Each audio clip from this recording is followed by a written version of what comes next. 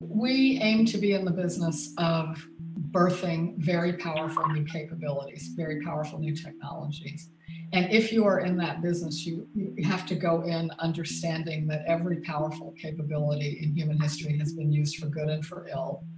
And, uh, you know, we, we, we're going to pursue these new capabilities because we think they are vital to solving some of our hardest problems. But we also want to be very clear eyed about uh, what could possibly go wrong. And actually, when you're at this early stage and you're just starting to see the shape of these new capabilities, that is the right time to start asking about what could, what could go wrong. And, and from that, I think we have two responsibilities uh, as researchers uh, and as the people who are trying to drive these, these programs. Number one is within the programs themselves is to make very deliberate choices that have uh, that in which we have thought deeply about everything we can imagine about the ethical choices that are going to lie ahead.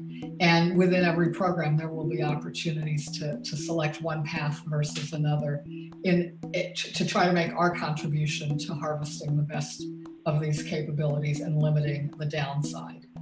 The second part, though, is really about how our society uses these technologies down the road.